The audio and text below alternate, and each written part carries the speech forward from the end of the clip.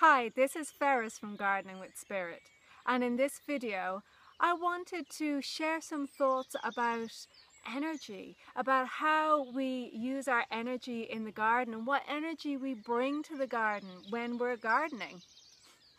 Um, it's something people don't think about a lot and I know a lot of people view gardening as therapeutic so if they're stressed they will come out into the garden and gardening will just help relax them and help them feel better. So after a busy day at work or maybe just to get out of the house and, and away from everybody else they'll come out to the garden.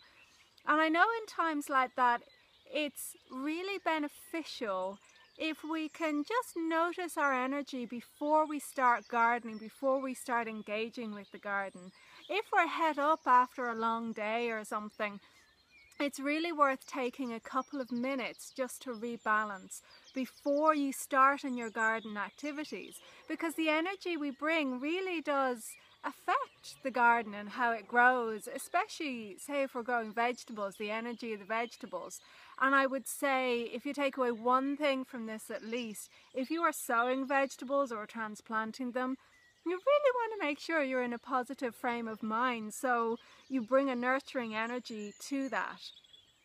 But no matter what your state of mind, it's really worth spending a minute or two tuning in to the garden when you first come out especially if you are feeling a little angry or stressed or frustrated. It's worth taking even just two minutes to sit quietly in the garden space and just listen, just unwind. Like here, hearing the bird song, maybe just looking around at the plants and just take some time to come back to center before you engage in active garden activities.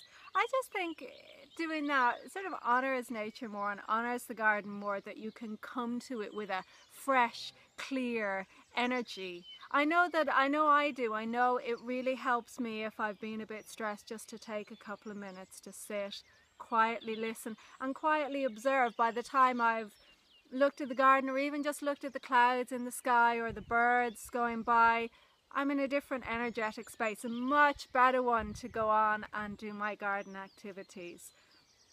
And if I'm in a really negative mood, which I get negative moods, I would actually do work on that to change that energy before coming out to the garden. One of my tools is EFT tapping and I would use that so I'm in a better space.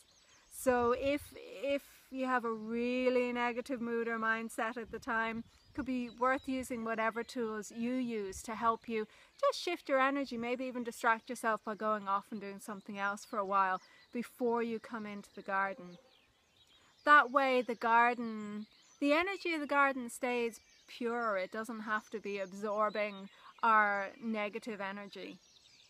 So thank you very much for listening. I just wanted to share that little tip because I feel it makes such a difference. Small little things like how our energy is before we come and start our day.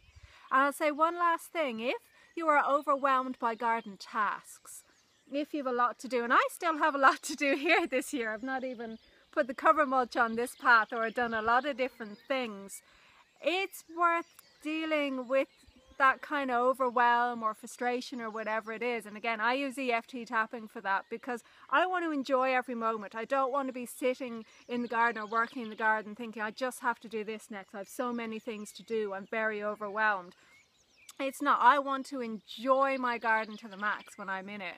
So I'd encourage you to find ways to, to deal with any of those issues so that you can enjoy the garden to the fullest, that you're in a good energetic space and that's what you bring to your garden.